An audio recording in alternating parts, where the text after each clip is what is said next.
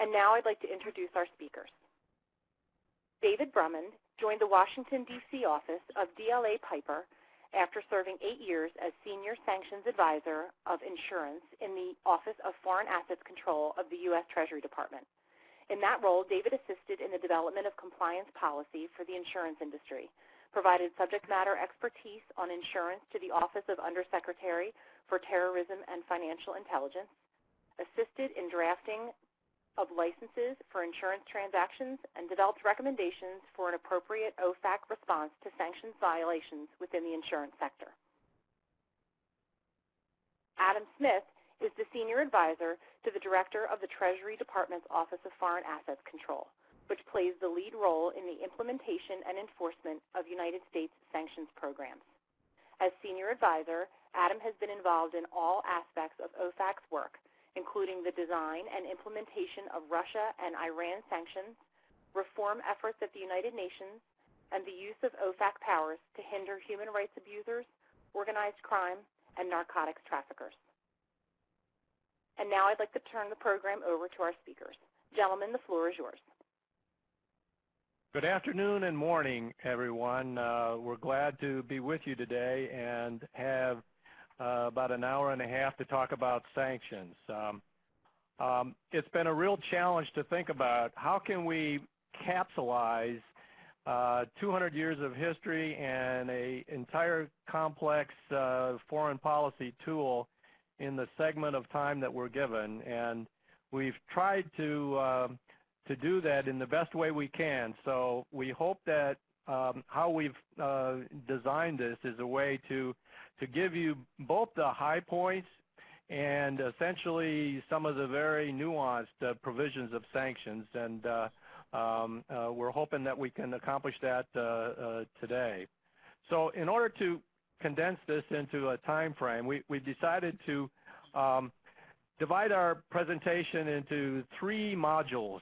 Um, First, we're going to try and give a little background and history to sanctions to give you some context of where sanctions have come from and what they're about.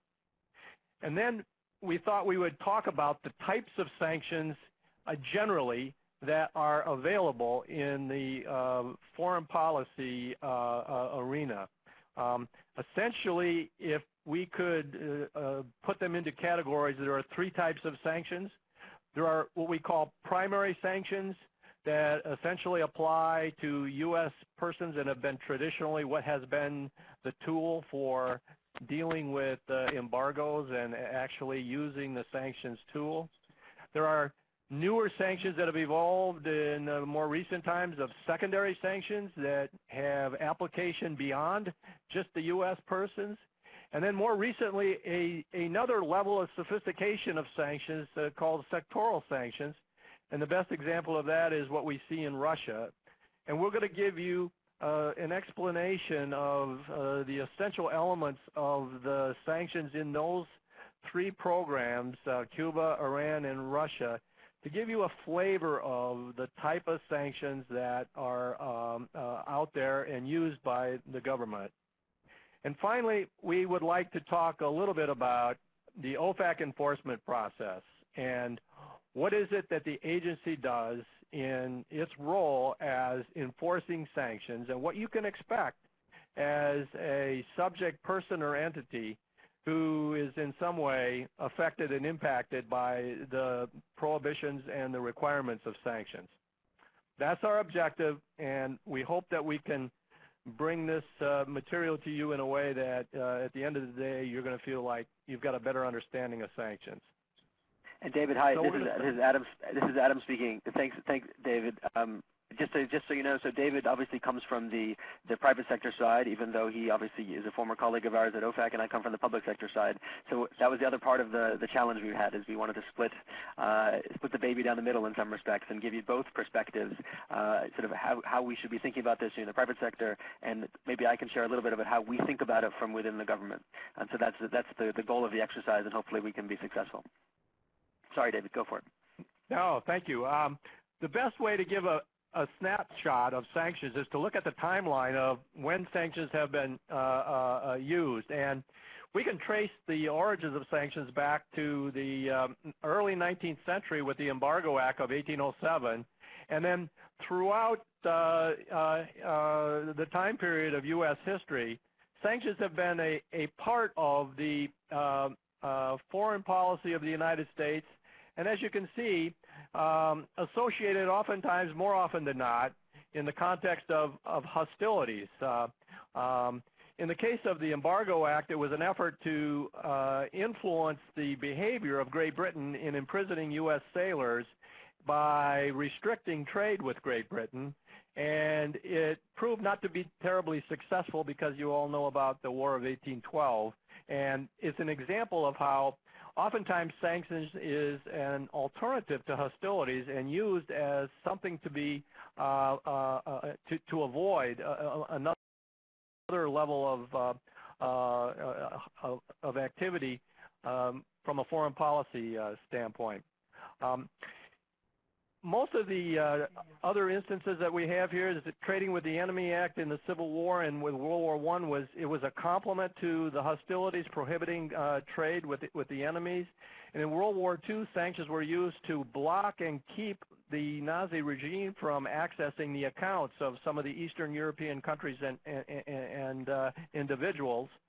And then uh, in uh, uh, the early part of the, of the 50s, uh, they were a complement to the actions that were uh, hostilities in Korea and, and China. And in 1963, sanctions were part of the response to the Cuban Missile Crisis. They were the first uh, uh, uh, type of reaction, and they avoided hostilities. And then in 1977, it was determined that there's a need to have a broader authority for sanctions in non-wartime context, and so there was a statute passed that essentially granted a broader authority to the president to use sanctions in a peacetime context. And in that case, it involved our response to the Iranian hostage crisis. That's an overview of, uh, of how sanctions ha have evolved. And I guess if there was a um, um, uh, something to condense from all of that, I think that the, the, the two essential points or the fundamental feature, features of, of sanctions that, that need to be emphasized, if, if you can look at all that and try and look to see what are sanctions about, there's two primary fundamental features that I think are important. One is that sanctions are a tool of foreign policy. And to the extent foreign policy is challenged and complex, so too are sanctions. And they're to be seen uh, always in the context of what is the objective of the foreign policy in that context. And secondly, transactions uh, or uh, sanctions are transactional in nature, and they apply transactionally. And by this I mean they're not relational. So it isn't like we have an enemy or like a terrorist state in some cases. That's not the case. They're transactions because they're economic in their base and they and they're centered on specific aspects of an economic transaction. And so it's important to to recognize that that sanctions require, you know, exact transactional components in order to be uh, uh, applicable.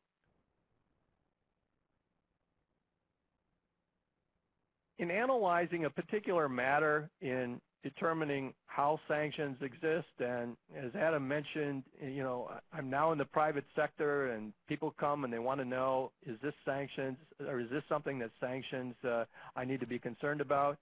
I over over the course of the time that I've been involved with sanctions, I've come to uh, essentially boil the sanctions questions down to a trilogy of three components, three analytical components. The first is who is the subject person? Who is the uh, uh, uh, who is involved in the matter that is subject to the sanctions? Uh, secondly, what is the transaction? What is the type of activity that is being engaged in, and does it fall within anything that the sanctions prohibit? And third, who is the target of what is the sanctions uh, restrictions, and are they involved in the transaction, and are they connected to the subject person? And if you analyze each of those elements in all of the sanctions programs, and it turns out that the sanctions programs all have different um, degrees of detail for each of those, And as a result, uh, you need to sometimes spend more time in one part or one other part. But at the end of the day, these are the three components of a sanctions analysis.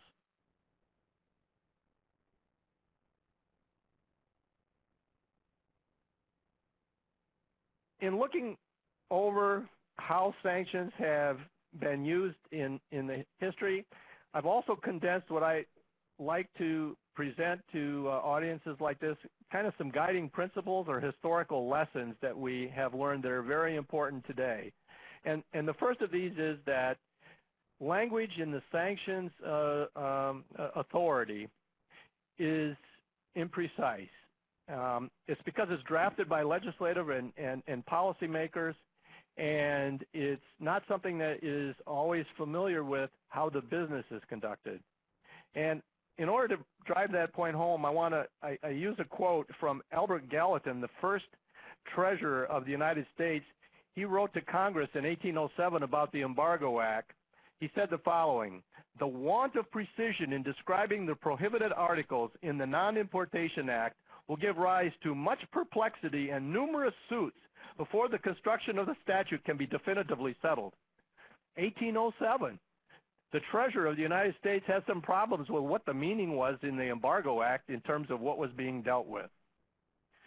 Second principle for uh, historical uh, uh learning is that the policy that is being articulated and, and, and promoted in the sanctions overrides commercial interest. And the short form of that is policy trumps profits.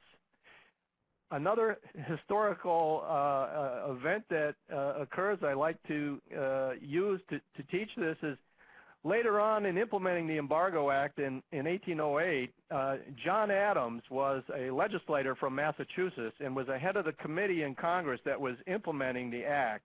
And he had received from his Bostonian constituents a letter and was asked if he could essentially give them some relief on some of the prohibitions that were involved in the Embargo Act. In the letter, um, and he wrote back and essentially said the following. The petitioners represent that they have on hand a large quantity of dry and pickled fish, which, unless exported before the summer heats, will be liable to perish. The committee perceive and regret the extraordinary pressure with which this import, important national measure must operate on those citizens who hold perishable articles. As both houses of Congress have manifested the determination of adhering to the general policy of the embargo for the present, the committee do not perceive any admissible principle on which the prayer can be granted. And so one of our early license applications in 1808 was a denial, even though it involved significant losses.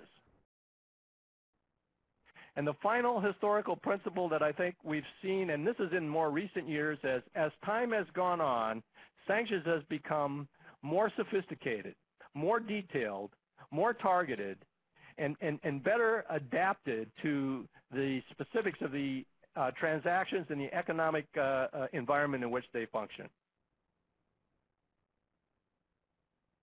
And, and, in fact, I mean, this is, this is, Adam again. In fact, if you think about the, the primary, secondary, sectoral uh, trilogy, to use that term again, um, it, that, that was sort of what we did first, second, and more recently. And those are increasingly uh, targeted, increasingly limited, and increasingly uh, detailed versions of prohibitions. And so that, that, that sort of matches over time what David said uh, is sort of one of the big historical lessons of the sophistication.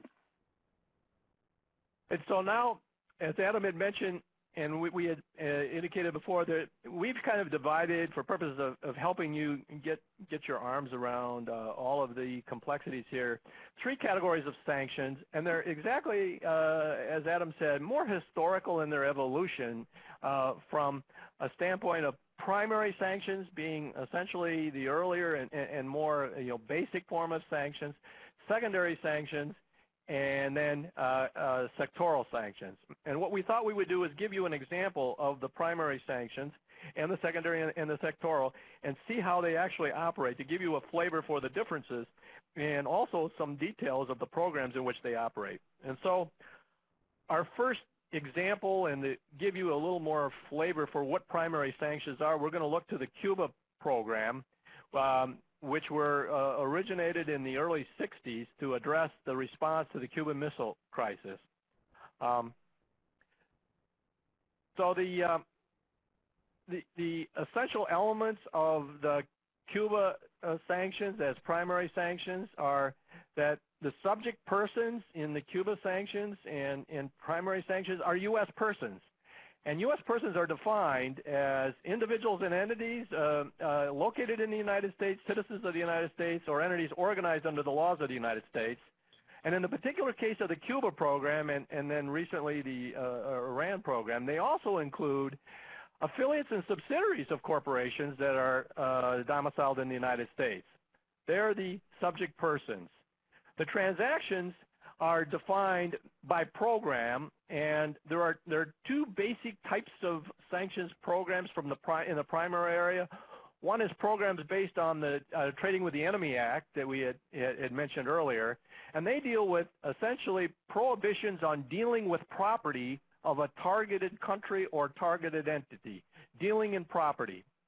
And the second type of transactional prohibitions are more in the later type of uh, statute, the IEEPA, uh, uh, International Emergency Economic Powers Act, and the, and the uh, orders that have come down on that.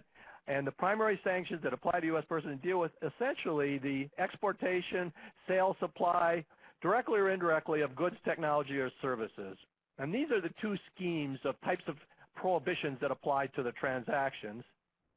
And in each instance, they apply to a targeted country like Cuba or Iran, or what we call specially designated nationals, individuals that for whatever reasons have been determined to be essentially enemies of the United States, and be they kingpin drug dealers, uh, terrorists, uh, dealers in weapons of mass destruction. Um, there are individuals who are and entities who are designated as particular conduct that has been engaged in that is a, uh, a problem uh, for the United States. And, and so if you were to look at the if you look at the list of, uh, of, of, actual entities that are sanctioned uh, on our specially designated national list, the 6,000 odd entity list that is kept by the Treasury Department, the vast, vast majority of people on that list are not people who are there solely because they're Cuban or solely because they're Iranian or, or solely because they are geographically associated with a regime that the United States does or doesn't like. Rather, the vast majority of people on those lists are, are the SDNs themselves, are the particular people whose behaviors, whose narcotic trafficking, whose WMD trafficking, whose engage in, engagement in terrorism, that is why they're on the list. So over time, even the primary sanction uh, has become more and more focused away from sort of the regime-based basis, um, which you see still, admittedly, in the Cuba and Iran case, the DPRK case as well, and more and more to the highly targeted, non-regime related at all, but behavior related sanction when it comes to dealing with narcotics traffickers and WMD traffickers and others. Now let's drill down a little deeper to Cuba sanctions as a primary example of the primary sanctions and look to see what it is that is comprising the, the, the primary sanction. And uh, in looking at uh, uh, Cuba, we look to see that it's, it's the oldest uh, sanctions uh, uh, regime that we have as an active sanctions program today. And its original authority was the Trading with the Enemy Act of 1917 that was the statute that was the basis for the executive order in the early 1960s on prohibiting trade and excluding all types of dealings with the property of, of Cubans. Subsequent statutes have reinforced that over time, uh, the Cuba Democracy Act and the uh, Libertad Act of 1992, and essentially um, they've all come in over the time of these uh, four or five decades have been codified or crystallized in the regulations of the Cuban Asset Control Regulations. They're very extensive, very detailed, and they essentially deal with uh, prohibitions on dealing with property in which Cuba has an interest.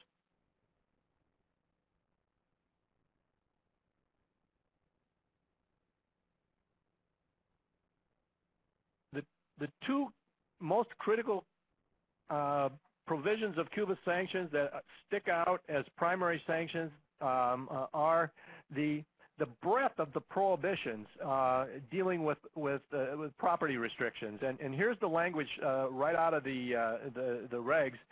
uh, no U.S. person can deal with transactions involving property in which Cuba has at any time had any interest of any nature whatsoever, direct or indirect. And just as an aside, in dealing in some of the context of this in insurance, I've always had some problems with the extent to which, and I've come, come to accept the fact that this is not legal language, it's, it's more metaphysical. It's very broad. It can be used as broadly as what a court or an agency would like it to be. And the second element of the Cuban sanctions that makes them um, kind of stick out from the others is the use of the tool of defining the breadth of a U.S. person to be an affiliate or a subsidiary of a foreign uh, of a U.S. corporation. And this is very extensive and runs into many uh, commercial problems and issues when the basis for a transaction may have nothing to do with the United States if it's a subsidiary or foreign uh, uh, company, but yet if they're owned or controlled by a U.S., they're brought within the scope of the Cuba sanctions. And, and, you also then run into serious um, uh, um, legal issues in other countries that have either have don't have sanctions on Cuba, which are which are most countries, or have prohibitions to actually uh, prohibitions for their own people to comply with foreign sanctions. Uh, and so that that's a huge problem that people run into, primarily in Europe, but also in, in other countries, in other parts of the world as well, because of the breadth of the of the program. And many of you have been reading the papers and seeing the news and um, watching how we've revised uh, this Cuba sanctions policy in the last couple weeks. And it's been a significant uh, a development. But I'm going to let my colleague from the Treasury Department talk about what are some of the things that have been done by the administration to essentially lighten the, the sanctions uh, prohibitions in Cuba. Adam? Thank you. Thank you, David. That, that's right. I mean, if there's been one, um, well, there have been many sanctions stories, I guess, in the past uh, uh, several months, everything from what we're seeing with the Iranian negotiations to continued problems uh, in Ukraine uh, to, of course, Cuba. Cuba is perhaps the one that um, has, has garnered the greatest amount of support. Uh, there have been many people who have thought that it's long overdue. Um, and the president decided uh, of his own volition to move to lessen the burden uh, of sanctions. And I think that that's the correct term to use. Because what I can tell you explicitly is that the sanctions remain in large measure. The embargo remains in large measure. Um, but what has been removed are some of the um, the difficulties with complying with the embargo, and it means that some of the exceptions that were already in place uh, on a what we call a specific basis, in other words, a case-by-case ad hoc basis, have now become generalized. Uh, and so what that means, it really is a burden question. So there have been several uh, ways that one could, as a U.S. person, legally uh, travel to Cuba. And that has been in place now for several years. Uh, but in order to do so, you needed to go through a, a rather, not difficult process, but certainly time-consuming process of applying to my agency, the Office of Foreign Assets Control, and making it very clear in a license application uh, what it is that you wanted to do and why it is that this should be an exemption uh, to, um, to an otherwise broad prohibition as David uh, described it. Uh, what's become the, the law now, as of last Friday actually, is that many of the um, the categories that were broadly receiving these exceptions on an ad hoc basis, on a one-off license basis, have now become generalized, uh, which means that people can basically take advantage of the um, their ability to travel or even engage in some commerce with Cuba without resort to my agency meaning that you do no you no longer so long as you are you fit into one of the categories of the exceptions uh, that you are now generally licensed and that basically means that it is an exception that is broadly or generally applicable. You don't need to come into us to sort of deal with that so there have been a couple uh, um, let me go through here. So travel is one of the big ones. And in fact if you wanted to think about the way that the Cuba sanctions have been sort of changed this is the most important one, I would think, or at least one of the, the largest categories. It basically makes the prohibition on travel um, much more limited. So it is still illegal as a U.S. person to travel to Cuba uh, on a beach holiday or broadly uh, uh, just broad touristic uh, endeavors. Again, you have to think about these sanctions as a part of foreign policy. And the foreign policy here is that the president wants to engage, wants the U.S. U.S. people to engage with the Cuban people in a way that hopefully will open up Cuba, hopefully um, change the, the, fortunes of people in Cuba, uh, and maybe even one day uh, even change the government of Cuba to a more uh, to, to, to, to, a more open uh, human rights protecting uh, administration. That's the goal of the exercise. Uh, the thought was that opening up travel to sort of the average beachgoer uh, that could go to Havana or Santiago or what have you uh, was not the goal here. Rather, there are specific categories of travel, 12 of them actually, um, which go to the president's fundamental foreign policy objectives um, and make it very easy now for American citizens who fit into those categories to, uh, to, to, travel to Cuba without, again, without resort to coming to into the Treasury Department for an up or down vote as to whether or not they can, um, they, they, can, uh, they can use the exception. Now, I, will go through very briefly what some of the exceptions are. Um, but I, I, urge you to go to the OFAC website. They, there's a very, very good frequently asked questions that was published just last week, in fact, a week ago today. Um, there's, of course, uh, it's also where you can get more information on the Cuban asset control regulations, what still is prohibited, what still is, um, what, what you still can't do, and of course, now the things that you can do. Um, some of the um, some of them are, are, significant. So as I said, travel by U.S. persons, travel services for travel to Cuba, that's, that's travel agents um, are allowed to sort of now, again, without coming to the, uh, coming into Treasury, are allowed to sell trips to Cuba, so long as the, the trips, um, the, the members of the, of the traveling party all fit into one or more of the, of the categories for the general license. And the categories, just to give you a, a, a flavor, it, they're very, very broad. Um, and so that includes family visits, official business of the U.S. government, or foreign governments for that matter, journalistic activity, professional research, educational activities, religious activities, um, athletic competitions, support for the Cuban people, which of course is a very broad category, humanitarian projects, um, activities of private foundations or research or educational institutions. Uh, I mean, as you can tell, it, it's a very, very broad category. Um, it doesn't, again, it does not mean that everything qualifies, and there are certain exceptions. So for instance, one of the things that we make it very, very clear is that if you are traveling in a group and uh, to Cuba, and one member of that group uh, qualifies under one of these 12 categories for a general license, that does not necessarily mean that every other member can simply live under that person's um, uh, in, under the umbrella of that uh, of that coverage. In other words, every member of the group has to fit into one of the 12 categories in order to receive that exception. That's a pretty important um, important sort of component, but as I mentioned, the breadth of the exceptions are such that I would imagine more and more people are going to be able to find themselves into one or more of the categories. But just broad tourism is still uh, still prohibited. Um, in fact, one of the interesting exceptions to professional visits.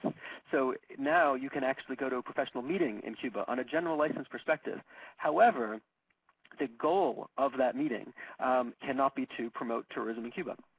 So in other words, no matter no matter what uh, other exceptions you're allowed to sort of fit under, there's the broad foreign policy goal of again not fully opening um, frankly, the wallets of American citizens to Cuba. That that's just not the goal of this exercise at this stage. It may well be uh, in the future, certainly if Congress decides to act to sort of remove the embargo. Um, but as of now, we're we're in a we're in a position where we have significantly rolled back some of the, the measures, um, but rolled them back as exceptions to otherwise prohibited activities rather than rolling back the embargo or, frankly, even all of the sanctions themselves. Um, one of the other important changes um, is to do the remittances to Cuba, uh, basically changing the amount that can be provided, uh, which is, again, it's talking about the ability for individuals, family members to to sort of continue sort of their engagement because the idea that the president has is that the more we engage, the more we're able to sort of uh, open Cuba up in that regard, the, the better it is going to be for our foreign policy, of course, but even more for uh, our ability to sort of to, to gain the ends we would like uh, in, in the relationship. And a key to that, of course, is the, the, the tens of hundreds of thousands of Cubans uh, that, that, that are in the United States that still have strong ties uh, back, back to the island. And so the president realized that opening up travel and the ability to communicate, remittances of financial communication, uh, is even greater. Uh, it's a significant, of, of significant importance in order to get the result that we would like here. So financial transactions involving Cuba, I mean, as David mentioned, I mean, it has been very much off off the off the table. Um, but now there have been some, because of this, the ability again for remittances to flow. There's significantly greater uh, amount of remittances that can now flow on a sort of a on a quarterly basis. Um, U.S. banks will be able to open up correspondent accounts in Cuba at Cuban banks, uh, which is a very, very um, that, that's the start of real financial transactions. For those on the line who know how banking works, I think you can recognize how important having a correspondent account uh, will be to sort of encourage and, and, and sort of enable the, the trade and the commerce that, that may well uh, uh you know, come to flow sort of in, in the near term. Um, Telecommunications and internet services are another very important uh, addition. In fact, that's one of the, the very broad, so outside the travel allowances I mentioned of the 12 categories, the telecom area is one that is incredibly broad and may have the largest impact on a dollar basis. Because what the allowance has now done is basically allowing uh, telecom providers in the United States to establish the necessary mechanisms and infrastructure to provide commercial telecommunications internet services um, in Cuba, and that's in Cuba, within Cuba, and between Cuba and third countries, not just the United States.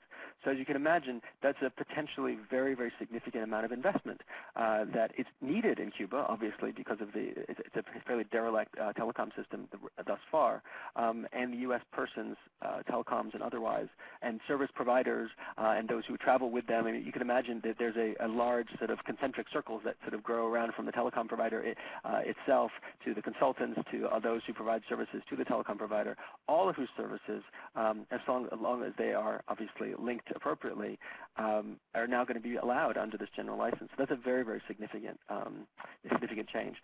Additionally, uh, as, as, David made very clear, one of the other things that was so interesting about the Cuba sanctions is how it dealt with Cubans, not just Cuba. Uh, and so Cubans outside Cuba uh, were also off limits to U.S. persons in very interesting ways uh, that again are unique in the in the annals of our sanctions programs. And again, what our allow what so in other words, if you were a Cuban um, citizen and you were in you know, another country, not the United States and not Cuba, trying to engage with a U.S. person, uh, a hotel or a bank or even just an individual on a, for a transaction, it was often hard, if not impossible, to do that. Um, but again, what, what, the, uh, what these new regulations allow, again, the prohibition as a legal matter remains, but what what these allowances now is there's now an exemption. There's now this generalized exemptions for Cubans who are ordinarily resident in other countries to engage in, in frankly, normal commerce and normal trade with U.S. banks or U.S. persons. Uh, but again, I, I, urge you very, very strongly, if you are interested in the Cuba, what's going on in the Cuba system, uh, the, the sanction system, to look at the OFAC website um, and to really familiarize yourself with the, the Cuba asset control regulations because you'll see the it's still rather significant. And so these exceptions are important, and the President mentioned them in the State of the Union. And of course, they've received, I think, their due amount of press. Um, and of course, the negotiations to actually normalize relations, um, open up embassies or whatnot, are ongoing uh, yesterday and today in Havana, first very high-level uh, meetings between the two countries in almost 40 years. So things are moving, and, and the, the sanctions may well change change again. And that's one thing we, we didn't mention at the, at the outset. And one of the other big challenges about talking to sanctions, uh, talking about sanctions, is that because they are uh, responsive to foreign policy, um, they are responsive to to the, winds of change uh, that are out of our control very often, uh, and so they they change and they um, they are altered in important and large ways, like you see in the Cuba situation, um, but often in small ways that may be important in certain co contexts, uh, not on a day-to-day -day basis, but certainly on a frequent basis. And so I can we can tell you today uh, sitting here um, that at the, you know, on the 22nd of January at about 2.40 Eastern, uh, this is what sanctions look like on Cuba um, or Iran or Russia, which we'll get into uh, in, in a moment. Um, but we can't necessarily tell you that this is what they'll look like next week, next month, or you know, next year is a completely different ballgame altogether. So that's that's where we are in Cuba, um, and we're starting to get, as you can imagine, interesting questions um, about the, what the regulations mean and how they apply and what the what the exemptions mean. Uh, and the other beauty of going to the OFAC website is that you can you sort of keep, keep up with the conversation because what we do publish are frequently asked questions. And we have a whole bunch that are already on, as I mentioned, uh, already on the site. And uh, we have uh, 45 of them uh, that have already been on. What we usually do is that as practitioners run into difficulties of interpretation, as David said, a lot of the regulations are written in, in not necessarily legalese, but policyese um, that don't necessarily respond directly to the realities on the ground for commercial players or even just individuals. What happens is we often get these questions that are very commonly asked, and then we decide to sort of provide a formal guidance document and usually incorporate that in the frequently asked questions. And so that's what I recommend you sort of do, uh, just so you can stay, again, keep up with that conversation. David, before I go on to talk about Iran and secondary sanctions, is there anything you wanted to add on, on Cuba?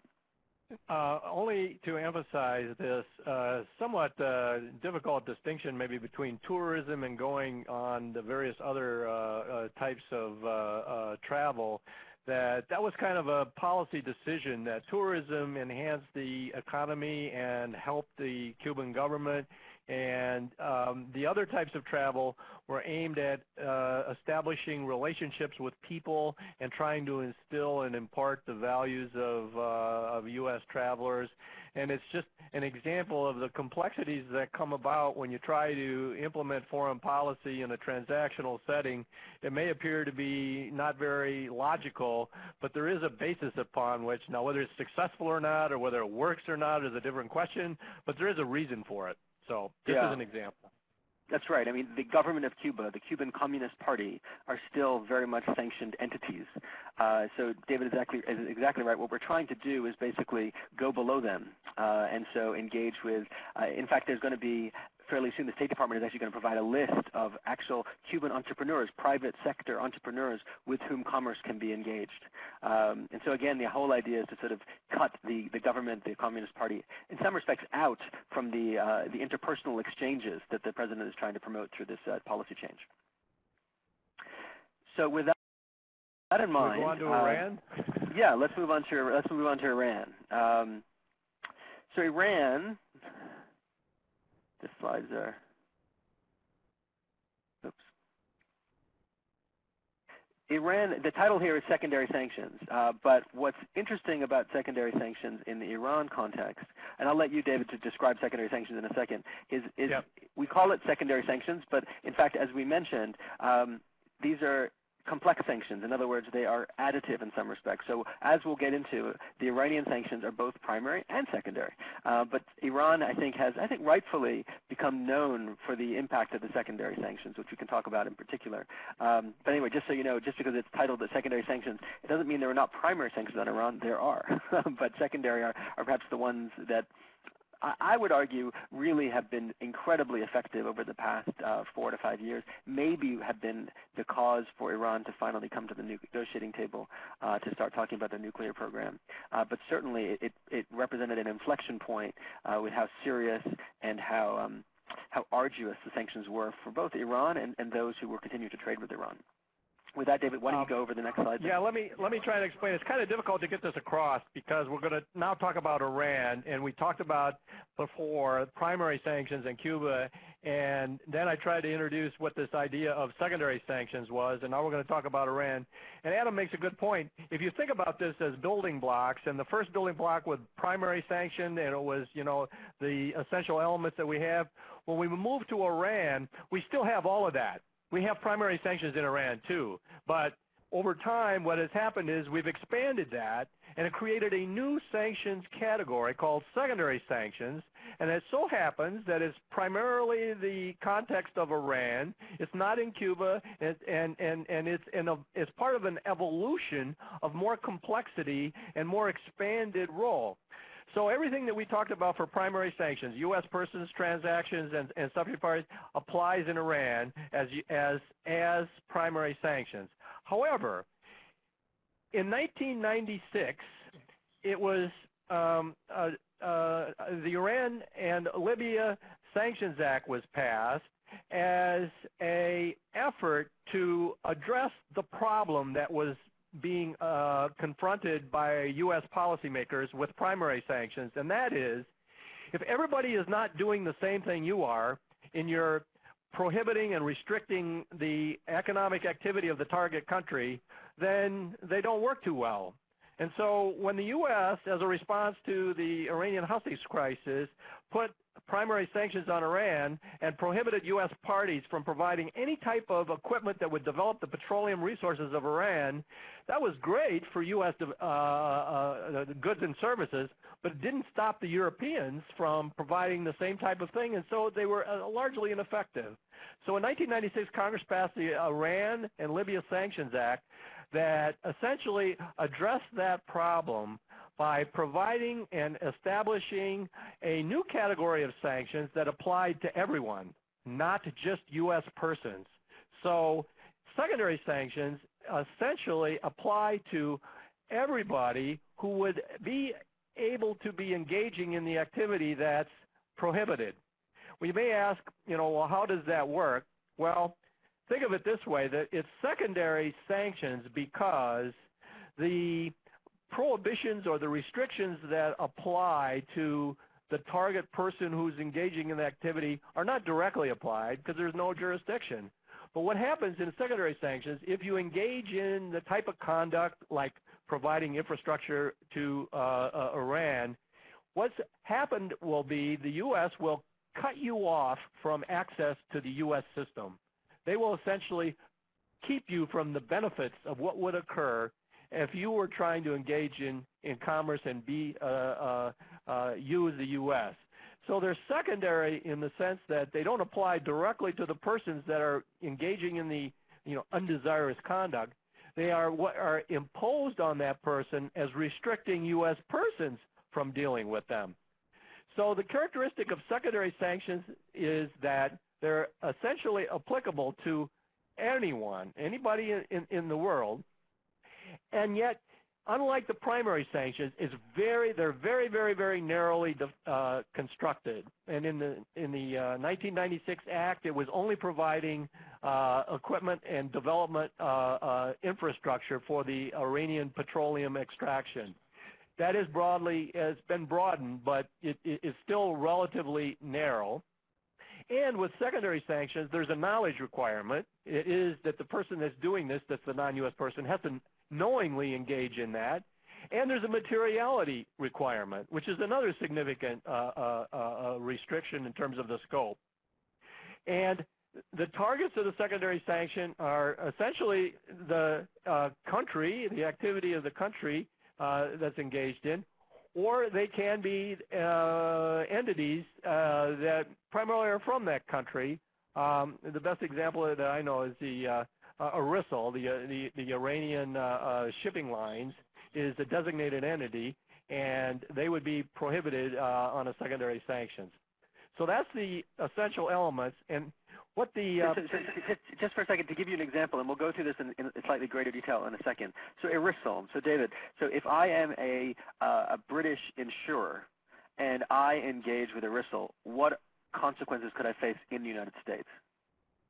Well, the secondary sanctions would be uh, uh, uh, layered over what you were doing and would essentially uh, uh, say if it was determined that you indeed did engage in conduct that was um, uh, prohibited by secondary sanctions or within the scope of secondary sanctions, and in this case, dealing with a SDN would be, then if you did it knowingly and you did it in a significant way, then what could happen would be the uh, Secretary of State could put you uh, on notice that this is not uh, something that you're uh, uh, uh, allowed or able to do. And if you don't stop it, we're going to restrict you from essentially being able to use any of the U.S. economy in your activities. And what does that mean? No U.S. dollar transactions, no bank accounts in the United States, no traveling of any of your employees to the United States. And we will essentially more or less blacklist you from being engaged in dealing with anything associated with the United States. What what it, what I mean to put more more pointedly, what it's what it's posing for those who are neither the U.S. or Iran is a choice. The choice is you can deal with Iran, these certain entities in Iran, or you can deal with the United States. You can no longer do both. So secondary sanctions make it very clear that if you're a British insurer or French, whatever, it doesn't matter you're a third country actor engaging with one of these SDNs, you can no longer do that and engage with the United States. That's the choice that secondary sanctions provide. Now, there's been a lot of criticism. Well, there's been a lot of criticism of uh, uh, of, of, secondary sanctions as being extraterritorial. Um, I guess one of the responses is that essentially uh, all the United States is doing is saying to its own citizens, you cannot deal with this identified uh, player that's engaged in this conduct, and it isn't really extending anything to that player. It's keeping them away from the U.S. I mean, that's right. I mean, when I've gone abroad to talk to uh, folks all around the world about the Iran sanctions especially, that's a very common complaint I've gotten, that these are secondary or extraterritorial in nature. But again, it's because the impact, basically what happens is when this choice happens, so if you are a, you know, country in country X and you are an insurer or a bank or what have you, and you decide to engage with a, an SDN or an actor that we don't like, what happens is that that bank in the in, in, this other country, you know, the British bank that is engaged in, in the transaction, that itself doesn't actually get sanctioned, right? We don't actually put them on our sanction. They don't become an SDN themselves. Rather, what would happen is we would send a note out. These are just hypotheticals, of course. We'd send a note out, official note, to the banking and otherwise and financial sector community in the United States, prohibiting them from doing any dealings with this entity. Um, so that's what that's that's where the rubber hits the road. So it's, it's not nothing is actually being applied directly on uh, the the foreign country entity. It's being applied all in the United States. That's a very important distinction. And well, frankly, the pushback I often give is that if you are a U.S. bank and you want to uh, open up a branch in name your country, uh, you've got to fill, you've got to follow whatever regulations that country imposes on you. You know, capital to risk ratio, certain uh, certain measures uh, for, for for soundness and, and security of a, of a financial institution, for instance. All we're saying is that if you want to engage in the in the United States financial system, there are certain regulations we have as well, and they are very similar to some of those that you have in other countries. Plus, we have this additional one: is that not only do you have to be, have safety and security and, and uh, stability of a financial system if you're a bank, you also can no longer engage with entities that we find objectionable from the sanctions basis. Just another on our list that, again, we, we impose domestically, even though the activity is occurring, the suspect activity is occurring entirely outside the United States jurisdiction. So, Adam, uh, would you uh, talk a little bit about how we've had to essentially layer sanctions. We started out with primary, we've got secondary, and now we have this this this pile of sanctions that involve Iran. And it, uh, it is show crazy. a little bit how we got there. so it, this, the Iranian sanctions um, program is uh, by far, in a way, um, the most complicated sanctions program uh, we have um, by a huge measure. We have uh, two dozen executive orders uh, that impose various sanctions. Some of them have overridden other executive orders. And we have, as you can see on the top there, the yellow boxes, these are pieces of legislation that also impose sanctions. So that's uh, six of them since just 1996. That's a huge amount. Uh, compared that to other sanctions programs, most sanctions programs, just to give you a perspective, don't either have only one piece of legislation that, that, are associated with them or none, and that the president is just using the standing authority that he has under the IEEPA Act that the, that that David mentioned earlier, the International Emergency Economic Powers Act, using the standing authority that the Congress gave him back in 1977 to impose sanctions of his own volition in however way he he chooses. What Congress is doing in Iran and has done increasingly uh, is basically say that you can do that, um, but you need to do also this and impose different sorts of sanctions. And so what you're seeing um, is that that's in more and more actually where secondary sanctions come from. And so if you go back, if you look at 1996, that, that line, just looking at the, the yellow boxes again, the Iran Sanctions Act, that was the initial secondary sanctions. Um, going forward, the Comprehensive Iran Sanctions Accountability and Divestment Act, that's CISADA, that's uh, arguably the, the, most impactful secondary sanctions uh, that were put in place. That was in July of 2010. And then NDAA, TRA, and IFCA, those last three, they did many different things, but one of the the big things they did is they just expanded the scope of secondary sanctions. So whereas CISADA basically said that it, it applied to foreign banks and said if you're a foreign bank engaging with certain number of entities in Iran that we don't like, you can lose your access to the U.S. Um, increasingly, it, it increased it increased the number of entities that was that was both caught, both under both which entities um, outside Iran could lose their access to the U.S. Eh, banks, individuals, uh, corporations, and also what entities in Iran that you can't deal with if you want to maintain your access to the United States, increasing not just to the entities you know who are SDNs, but people who are Central Bank of Iran or government of, or, or government of Iran more broadly. I mean, it, it increased the, the catchment significantly. So that's what we're dealing with. And in fact, this chart, if, if there's any chart that's sort of an important one so you can understand a little bit about the negotiations that are ongoing, one of the challenges that you can imagine we have is that in order to provide sanctions relief, which hopefully is the end goal if we can get an agreement that, that, that, that, that meets the President's goals here, um, is to relieve some of these sanctions. But as you can tell, much like in the Cuba context, the top line here, above the line, is all congressional action. Below the line is all executive action. Executive action the president can do tomorrow, uh, but congressional action he obviously can't. And so you're limited in some respects, given that the superstructure of sanctions now, both primary and secondary, is both legislative and executive. You're limited in your ability to roll back uh, sanctions in ways that you might want to uh, because there's a congressional overlay. And of course, the executive's job is to execute the law, and, they, and the law the law states X, Y, and Z, you need to behave X, Y, and Z. Uh, so that's, that's one of the challenges, and this chart I think does a very good job at sort of explaining the complexity of, the, of where we, how we got to where we are uh, and, and the, the, complexity of moving back from this, this, this position if indeed that is where we end up uh, with the negotiations. You want to talk a little bit about the joint plan of action and uh, what might be some of the ideas for where we're at then?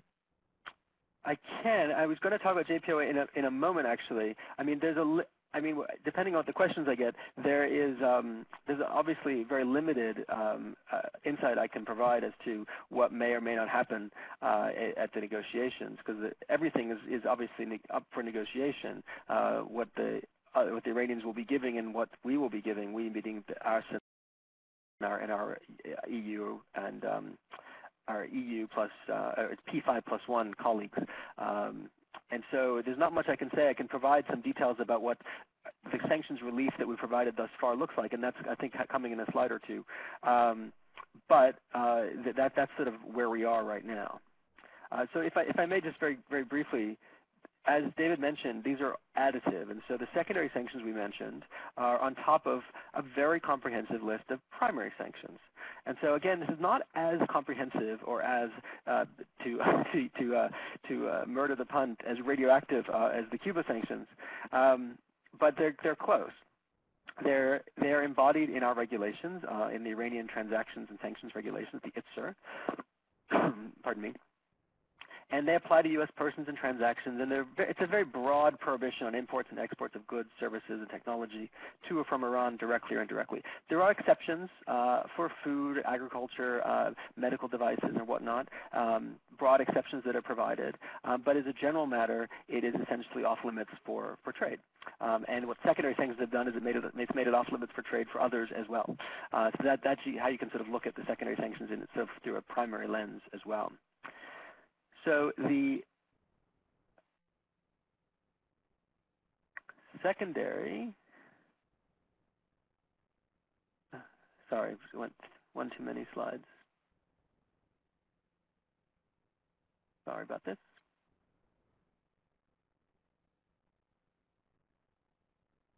Trying to get to the secondary.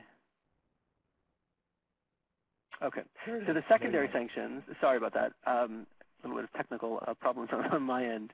So the secondary sanctions, as I said, go on top of the um, primary sanctions. One of the big challenges, and again, this is just so everyone sort of is aware of this, and those who are practitioners, longtime practitioners sort of get this, and those who are sort of new to the field may be surprised, shocked, confused, nauseated, depending on, the, on this. The secondary sanctions, there are two sorts of secondary sanctions. They're the ones that David mentioned that were done in the, in the Iran uh, Libya Sanctions Act in the mid-90s, um, which are done primarily, not entirely, but primarily are, are, are, orchestrated, administered, and enforced by the State Department. Um, those are the ones that are primarily energy related. The secondary sanctions that were passed in 2010 under the CISADA Act I mentioned are the Treasury-administered ones. As you can imagine, there's, there's, obviously a lot of coordination and cooperation in the interagency between state and Treasury when we're talking about sanctions. Uh, that, that should go without saying. Um, but they're different beasts. And so the sanctions that I'm talking about, these secondary sanctions, are the ones that are administered by Treasury. Um, and so these are found in our regulations as well. They're called the Iranian Financial Sanctions uh, Regulations. And again, they typically involve non-U.S. persons who are not otherwise subject to primary sanctions. That's what the ITSR refers to. Uh, so again, this is the, the, the, the, British insurer, the Japanese car maker, the, the Mongolian um, uh, shepherd. name, name your non, uh, non-U.S. entity. Um, and again, it, and it, the transactions are, the, are these particular transactions that David mentioned. It's, it's certain actors. Um, so in other words, it's not every actor will get these consequences. Iranian SDNs, those Iranians who happen to be on our specially designated national list.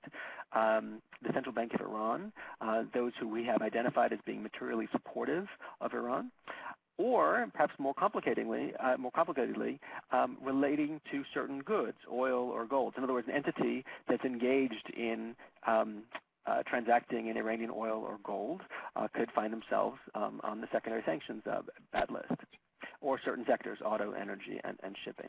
And again, the main consequence here uh, is for a foreign financial institution, because that's what our sanctions focus on, these banks. As you can imagine, Treasury focus on, on the bank side of the house, um, is losing correspondent account access to U.S. banks. And again, that's that's where that choice comes in, because the ability to the, the, access to U.S. banks is not. Again, I'm sure many of the people on this call are well aware that access is not just a, a convenience for for banks or for international traders. Um, the vast majority of international trade, the vast majority of international commerce, uh, international commercial documents even, are done with U the U.S. dollar as being the, the medium of exchange. And that means, as a practical matter, the vast majority of transactions, even between two third countries, uh, that are done in U.S. dollars actually have to transit uh, the U.S. And once they transit to U.S., uh, we have jurisdiction and our sanctions apply. And that's why this consequence for, for, for, for banks can be so significant. I was in, in the Persian Gulf about two, three years ago talking to a bank about this, and uh, I explained the consequence of this, this bank, this mid-sized bank in this, in this country, losing access to their correspondent accounts uh, in New York. And the CEO looked at me and he said, well, that, we can't do that. We would, we would just become a piggy bank then, uh, which of course is not, uh, not what they wanted to be. they wanted to be involved in international trade, and this is what, uh, what limited their ability to do so.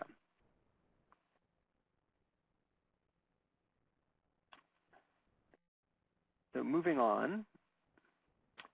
So as you, again, as you know, there is what currently in place, there's something called a joint plan of action, and that is associated with the negotiations that are ongoing in Europe. It, it, there was a round that just ended on Tuesday um, in Geneva, I believe, this time.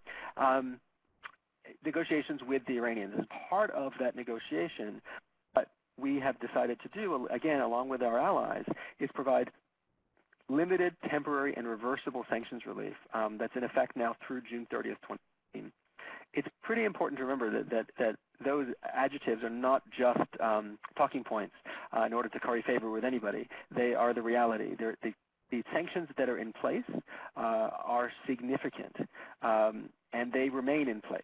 The sanction relief that we're providing are important, don't get me wrong, they're certainly and meaningful, um, but they are limited, and certainly comparatively so, and temporary, as we said, only in place till June 30th, and eminently reversible. Uh, so that, that, that, that's a very important part of the, the joint plan of action. So the relief focuses, again, only on a few specific areas of trade. This was negotiated with Iranians. Uh, the, their petrochemical sector, gold and precious metals, inputs into Iran's autos, and then Iran's crude oil exports in specific ways. Um, civil aviation uh, has provided, we've provided sort of a statement of licensing policy, a bit more forward-leaning, allowing U.S. companies and others to engage with the Iranian, uh, some Iranian air carriers for air safety reasons and otherwise, and then uh, repatriating some restricted funds abroad. Some Iranian funds have been essentially trapped abroad because banks have been very concerned about losing their access to the U.S. market. So they haven't been willing to touch Iranian money that essentially keeps piling up uh, in, in, different uh, financial centers around the world. And so allowed them now to remove some of those restrictions, some of those concerns about losing their access to the U.S. market if they were to touch Iranian uh, funds. Um, and so part of the, the JPO as well. And then there's a huma humanitarian financial mechanism, which is a, a little more obscure, but, but certainly uh, an important component where we're, we're, making it hopefully even easier uh, to allow transactions, which frankly we already allowed uh, in the humanitarian field, broadly allowed. Uh, so we're hopefully make, we're making that even, even easier.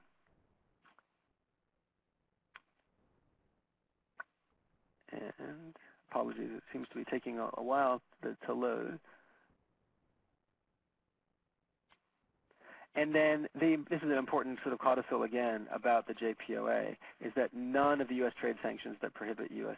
companies that include subs from engaging in trade with Iran have been altered, other than in this statement of licensing policy related to civil aviation safety. That includes the big, you know, aerospace and, uh, and related companies. All of those prohibitions um, remain. So a little bit like the Cuba context, right? The sanctions themselves, there are some important, you know, differences on the on the on the margins here about what we're not allowing. But as a generalized matter, um, the sanctions, by and large, disproportionately by and large, remain very much in place, very much enforced, um, and seem to be strengthened, to be perfectly honest, uh, even during the context of, of, of, the, of, the, JPOA by, by listing more people who are engaged in bad activities and, and just making sure that people are aware of the risks associated with, um, with, with doing any sort of business or trade uh, with Iran. David, I, I was going to go on. I mean, there's Russia. Do you have anything to uh, Iran side before I? No, no, I don't think so. I think we need to uh, to, to need turn to on, turn the page. Yep. Okay. So Russia is the uh, we, are doing a lot of threes here, all these trilogies, and so this is the uh, the third third and last uh, country we're going to go into you know broad, broad detail with uh, about Russia. And as, as you all know, the Russian sanctions are in place. Um, because of President Putin's behavior in the Ukraine. Initially, uh, it was his uh, incursion um, into Crimea and then the purported annexation last spring. And then, of course, since then, the continued violence, which we've seen even just this weekend uh, in eastern Ukraine, uh, in the in the what we call the Donbass, Donetsk, the area in the far east of Ukraine, bordering um, bordering Russia. Pardon me. So the Russia sectoral sanctions, I mean, even though they may look uh, to the untrained eye, or frankly even the trained eye, as very similar to the Iranian sanctions or Cuba or Burma or what have you, um, you need to think about them as a practitioner or someone who is, wants to comply with them through the lens of the foreign policy goals at play here, which, as you can imagine, are very different uh, in Russia than they were in Iran or than they've been in Cuba or what have you. So that's an important sort of distinction to, um, uh, that, that, you should be aware of. So again, Russia's sectoral sanctions are sectoral, um, but again, they're additive, as, as we'll make clear. There are primary components, secondary components, and sectoral components that are, that are pretty important. David, do you want to go through the, the sectoral, these yeah, essential? I, I, would, I would just say that they're, they're cumulative. They're the primary, secondary, and there's this new category of uh, sectoral, but it's because of the complexity and the sophistication of dealing with Russia. So there's been all of these uh, tools now have come together and have been applied to, to the Russian context. And cumulatively, the, um, uh, they essentially provide uh, a pretty strong uh, set of prohibitions. The primary sanctions apply to U.S. persons. There are some secondary sanctions in some contexts. And then there's this new category of sectoral uh, sanctions, which is, is essentially just a two-step process of identifying a sector of the economy that is problematic from the U.S. foreign policy standpoint, and then within that sector, allowing the discretion of the Secretary of Treasury to identify individual entities and persons who are to be targeted for essentially prohibition on any type of transactions by U.S. persons. And that's the essence of the sectoral sanctions. Right. And so the the subject persons, the transactions, and the targets is sort of, it's very much what, what, what David just said. I mean, it's a very you know, in as much as primary sanctions, again, you can think of it as sort of a concentric circles, you know, are probably going the other way. Primary sanctions are incredibly broad in the, in the way they've been structured on the regime basis for Cuba or Iran for that matter. Secondary sanctions are narrower, uh, and arguably sectoral sanctions are even narrower still. They're narrower both in who's being targeted and then what, what is being targeted. Many folks who I've spoken to about the Russia sanctions basically tell me that what sectoral sanctions have done is moved uh, compliance from a question of entity to a question of activity. And so it's no longer entities that are identified on what we call the sectoral sanction identification list. They are not blacklisted in the same way that entities on our SDN list are. Rather, if you find one of those in a transaction stream and you're a U.S. person concerned about maintaining compliance with sanctions, the answer is not necessarily to stop the transaction and deny it. The answer is rather to look under it and make sure that the activity underlying the transaction is not one of the prohibited activities. That, as you can imagine, is a significant uh, headache, uh, to be perfectly frank, and very, very complicated from a technical implementation perspective, especially when we're dealing with huge volumes here. That's the other thing to just remember before we talk a little more about Russia is that the Russian economy uh, is immense. Uh, it is the, depending how you measure, the, the 10th or 11th largest economy in the world. Um, and the reason that's important is that it is, is when you're thinking about our sanctions tools, it is the largest economy by a huge measure that any other sanctioned economy we've ever sanctioned ever. In fact, depending how you measure it, it is arguably twice the combined sizes of all other econ uh, economies we've ever sanctioned, certainly on such a broad basis. I mean, the largest one, it's a $3 trillion economy. After Russia, it's, it's Iran. That's the largest economy we've sanctioned. That's a three, 400 billion, depending how you count on it. And then after that, most of the countries we've sanctioned have been smaller and smaller still. They aren't real economies in some senses, certainly not even regional economic powers. You know, Cuba, uh, some, some countries in, in, in Africa, uh, North Korea, Burma, these are very small players uh, in comparison. I mean, the Cuban economy, just to give you a sense, is, is about the same size as the economy of West Virginia on a GDP basis. And so you're dealing with much smaller, smaller stakes in some senses. And the other thing which is important to remember about Russia, not only is it large and therefore interrelated to countries that we care a lot about, Europe and even us, um, but since 1989 and the fall of the, of the, of the Cold War, of the, of the Berlin Wall and the end of the Cold War, one of the primary goals of our sort of economic system has been to bring them closer and closer in uh, to the to the Western economic system. And so the result is that there are significant interrelationships, important ones, um, between U.S. firms, European firms, and other Western country firms, uh, and people for that matter, and Russia, such that if we were to sort of impose a blanket prohibition of various sorts on the Russian economy or on even large Russian banks or otherwise, the, uh, the impact on us directly uh, and certainly on, on, our, on our allies in Europe and otherwise would be significant and perhaps counterproductive. Uh, and so we had to be very, very careful uh, in, in crafting these sanctions. And as you'll see, I'll go into slightly greater detail as to how we did them. You'll see that we very fine slices about who it is we've targeted and what exactly it is that we've targeted and how it is we've targeted. It's a very different model, uh, much more uh, surgical model than the model we've, we've had in the past. Yeah, I think we've, we've touched upon the fact that the uh, sectoral sanctions are additive, there's a two-tier process, and that essentially um, um, they're uh, very discrete. So, right, exactly. Uh, you can walk us through it uh, very briefly, uh, uh, Adam, the, the, the layers, the primary, the secondary, and the sectoral of what's at play in Russia. Absolutely. So the primary sanctions are in play. There are three executive orders that are primary in nature. In other words, these are, these are I would argue, the old-fashioned kind of sanctions that we have, uh, where people end up on the SDN list, right? So we've got three of them. We've got one that is, uh, we, we have very creative names for our executive orders. We just go by number. um, we don't have anything. Congress has a fun, a fun time naming, naming bills. We just name our, we just number our executive orders.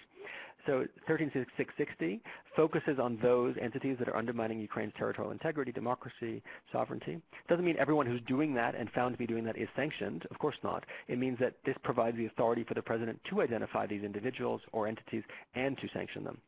The second one focuses more broadly on Russia and those entities in Russia primarily providing support to the Kremlin's Ukraine efforts. Um, So this has allowed us the authority under the executive order to sanction any member of the Russian government, uh, from the low, low list of, uh, of uh, functionaries all the way up to President Putin. That doesn't mean every member, of course, has been sanctioned. It's important to remember that the ability to sanction does not, uh, is not necessarily commensurate with having been sanctioned, uh, but it does provide the authority for us to do so. And as I'll show you in the next slide, many government officials have been sanctioned for their direct involvement in the Crimea pro problem uh, and Eastern Ukraine for that matter. And then more recently, we have a, a direct sanction on Crimea and Crimean issues. Uh, so limiting U.S. dealings and authorizing sanctions on entities that are operating in Crimea with the goal being we don't want Russia to benefit from their illegal uh, annexation, purported annexation rather, of, of, the region. So we have sanctioned um, this is broad little picture of about 100 plus entities, I think it's 120 now, of entities uh, under these primary sanctions. These entities appear on our SDN list, are blacklisted from a U.S. perspective. So a lot of these are companies up top, uh, some banks, some defense firms, um, and then below are some of the individuals, some very senior uh, Ukrainian individuals associated with the former regime um, of, of, President Yanukovych, some senior Russian government officials, as I mentioned, and then some, perhaps most controversially, some, uh, some what we call cronies, members of the oligarchs, the very, very wealthy business people that are associated with basically providing uh, President Putin the means uh, um, and in some cases the will to sort of continue engaging in this in these sorts of behavior in this sort of behavior. So those are the easy ones. Those are the primary sanctions. The secondary sanctions have been recently passed. Um, they are incorporated in the Ukraine Freedom Support Act of 2014. Importantly, these secondary sanctions are all discretionary, and the President has made it very, very clear that even though there's now the authority to sanction those on a secondary basis who are engaged in transactions in certain energy, financial, and defense-related uh, transactions in a similar fashion as we've done in Iran, that he has not done so, uh, and he does not plan to do so. Uh, he his strategy still is to maintain consistency with the Europeans and make sure that what we're doing on sanctions the Europeans are matching and vice versa. And this is a, a step too far for the Europeans at this stage. Even though this is certainly law and it provides us this authority, unlike in the Iran context, uh, it has not been um, applied in that no one has been named in such a fashion again, yet. Uh, that, that's the current policy. Again, we've been there before, so we've done primary and secondary. These should all be sort of very familiar now. Um, now we get to more complicated. These are the sectoral sanctions, and these all come from this third Ukraine executive order, um, which we call, again, 13662. The highlighted um, text here is the um, is the is the preamble to the executive order, and it provides the sense, basically the rationale for the executive order. Uh, so this is post-Crimea annexation. It basically is talking about uh, Russian bad behavior, and it says that any entity uh, found to operate in the Rus any sector of the Russian economy as identified by the Secretary of the Treasury. So not identifying any sector, um, they can they can lose they can they can they can uh, be sanctioned, and, or any entity that's owned by them. And the sectors we chose, apologies, the energy one is not coming up for some reason, um, it, are finance, energy, and defense. Those are the three sectors of the economy that we decided to focus most on. It's not rocket science what we did. These are the three economies that really provide, or the three sectors that provide the economy um, that, that sort of buttress the Russian economy. But because of the reasons I mentioned, we did not want to go in and basically basically list the entire sector and make it, make it off limits to everybody. Uh, rather, we decided a new type of sanction. I'm going to go through this very, very quickly, but we can talk about this. And certainly if you go to our website, you can hear more about this because I see the time is, is ticking here. Um, we, what we did is we applied what we call directives. And these directives are very, very limited secondary sanctions, sorry, sectoral sanctions. In other words, we identified these sectors. In this case, Directive 1, we looked at banks. We said, again, this is the financial sector. And instead of making them entirely off limits to the U.S. persons, or any other person for that matter, we decided to limit their ability to engage in, uh, engage the U.S. financial markets in, in um, in obtaining new debt or, or lifting new equity. The idea here, of course, one of the goals, of course, was not to kill off these banks, right? That's not the goal of this exercise. It is to pressure them. It is to make them wonder whether or not their mid to long-term uh, operations, obligations, and um, prospects are being served by President Putin's behavior. And so that's, that's what we've done. And these are the banks. We did it in three different tranches. These are the largest banks uh, in Russia. And so these banks are not blacklisted. U.S. persons can still hold accounts, can still engage in transactions uh, with any of these institutions other than those institutions that want to want to approach U.S. persons uh, in the United States or abroad to engage in either raising new debt or issuing new equity. That's the only limitation that we've, we've imposed. And that model we, we imposed similarly in Directive in Directive 2, um, which is about the energy companies. Um, and again, the issue here was a new long-term debt. We decided that we, again, we're not listing these entities. They're not SDNs, but rather they're no longer allowed to come to the U.S. to raise long-term debt. These are, again, some of the largest energy firms. Not trying to kill them off, trying to make it very difficult for them to engage. Directive 4 um, was one that we uh, we sort of increased our, the pressure on the energy firms by looking not just at their ability to raise funds, but also at their next generation uh, energy projects. And we decided that their next generation projects for oil and gas firms in Russia are primarily in sort of the, the new frontiers, so Arctic, offshore, and shale. And what, so what we've decided to do on this directive is, again, not sanction these firms, but limit the ability for U.S. persons to provide any services um, or technology to any of these firms engaged in specific sort of these new frontier projects. Okay, uh, so David, uh, uh should we uh, you want to try and abbreviate the enforcement uh, discussion yeah. and uh, and try and um, and get the questions? I think we can do that. okay. Um, so let me let me try and give maybe a three to five minute overview of the enforcement so we can get the questions. let me just say that the enforcement discussion here is primary sanctions that are traditionally that which have been applied to U.S. persons and not anything in the vein of the secondary uh, sanctions. So um, the enforcement process at OFAC is based on enforcement guidelines that were constructed in 2009 that set out a procedure for the agency to follow in enforcing the sanctions that are under its jurisdiction. applies to all programs and applies to the U.S. persons of primary sanctions. The goals of the enforcement process in the guidelines are to give flexibility in the agency to uh, deal with particular facts in different ways and to give those subject to the uh, guidelines uh, predictability in what's going to be the consequences of their con uh, conduct. What can trigger an OFAC investigation? Um, reports of, uh, uh, block property by banks, Voluntary disclosures, there's an obligation to disclose any violation. Any of the investigations may uncover another matter or another entity. There may be um, referrals from other agencies. There's publicly available information learning about people traveling to Cuba, for example, or um, informants that may be just volunteering information to the agency. In the enforcement process, it's basically two parts. What are the tools? What are the um, uh, uh, responses that the agency can make to a given transaction that may be a violation. And here's an, here is the uh, listing of those responses from no action at the lower level of uh, the enforcement response to a criminal referral. And the most popular or the most frequent is the cautionary letter explaining that there may be a problem but uh, not taking any uh, formal uh, action, and then a civil penalty, which is the most uh, uh, notorious and what people know about. And in determining which of those factors to apply in a given context, the agency has published essentially factors that it will consider. The, um, the, the, the, highest, most important factor is was the conduct willful or reckless on the part of the individual?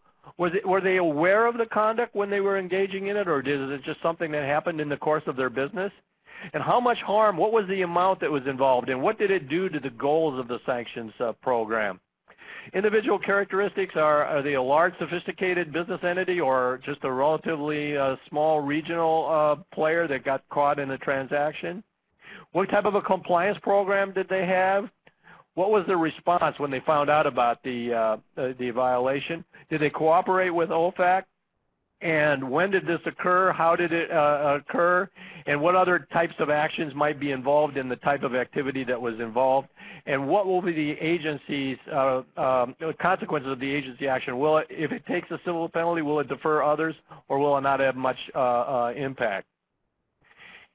In looking at the amount of a civil penalty, it's a function of two essential uh, uh, ingredients, the egregiousness of the conduct and the voluntariness of the uh, disclosure or how did it come about.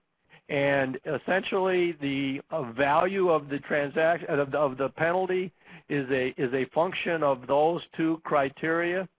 To the extent there's disclosure, there's a lesser uh, penalty, and to the extent there's uh, uh, it's not egregious, it's less and the opposite if, if it wasn't disclosed and if it was egregious.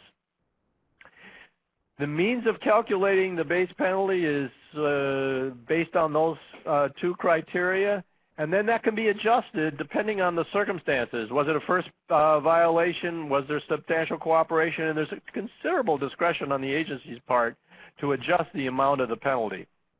Um, the best uh, example to give on how the matrix works is to take a hypothetical, and if we would take a $10,000 transaction as an example and work it through that matrix to determine just how much would the penalty be if the value of the transaction was $10,000. And this kind of illustrates the, the matrix is, was it self-disclosed? Um, and, and was it egregious? If it was self-disclosed and it was not egregious, a 10,000 transaction would be a 5,000 penalty. However, if it was not self-disclosed and it was egregious, it would be the base penalty of 250000 So for a $10,000 transaction, depending on the circumstances of its egregiousness and its voluntary, it can have a wide range of difference for the civil penalty. And just to give you some context, the maximum penalties vary by program. The IEEPA-based programs, which are a majority of the primary sanctions, are 250000 per transaction and um, the uh, trading with the enemy act TWEA, which is, which is Cuba, is 65,000 uh, per violation. And we do have other programs that do have violations, and the one I, have worked with is the Kingpin Drug is a million dollar uh, uh, transaction. And here's a listing of the um, major uh, uh, cumulative penalty actions by sector over the last uh, six years. And by far the largest and the most uh, uh, uh, the, the most amounts of penalties have, have involved the banking sector. And um, in each of the years, you can see where there's red, it's over over $30 million uh, uh, uh, penalties, and considerably less for other sectors like insurance, credit unions, securities, and the exchange houses. And I think that's as quick of a summary of the enforcement process as we can give, and I think uh, it would be good now to, to turn to some questions. I mean, one thing on the enforcement before we go to the questions is that it's important to recognize that in all of those cases, or almost all of them, OFAC and Treasury was only one of several actors involved in the enforcement process. Uh, very often, even if you don't get to a criminal referral, you have all sorts of other actors, uh, both regulators um, and prosecutors that become involved that, that also impose penalties themselves. And so, for instance, the very large penalty you might have heard about recently against the French bank for about almost $9 billion, that was not a Treasury penalty only. Uh, it was Treasury in co conjunction with, uh, with other federal um, authorities and even some state authorities imposing that, that, uh, that, that fine for violations of sanctions. So that's a just something to remember is that there are other actors uh, in the enforcement game other than Treasury. Thank you all, and have a great day.